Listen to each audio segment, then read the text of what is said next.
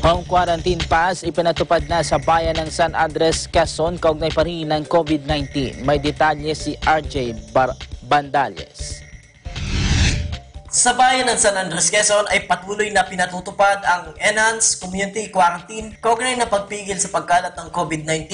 Ipinatupad na rin ang pagkakaroon ng home quarantine pass sa bawat barangay sa San Andres, Quezon. Isang tao lang ang pinahintulutan na magkaroon ng nasabing pass sa bawat sambahayan. Ibig sabihin, ang may home quarantine pass lang ang pwedeng lumabas ng bahay upang bumili ng mga pangangailangan kagaya ng pagkain at medisina. Ipinagbabawal ding bumili sa mga tindahan ang mga walang dalang home quarantine pass. Kaugnay nito, ipinatupad din ng punong bayan ng San Andres Quezon na huhuliin ng sino mang hindi sumunod sa mga kautosang ito. Malaki ang naitulong ng pagkakaroon ng home quarantine pass dahil nabawasan na ang mga lumalabas ng bahay at ng mga pag-alagala sa lansangan. Gayunpaman, nananatili pa rin negatibo sa COVID-19 ang bayan ng San Andres, Quezon. Mula dito sa bayan ng San Andres, Quezon para sa Eagle News, ako si RJ Bandales. We live in interesting times.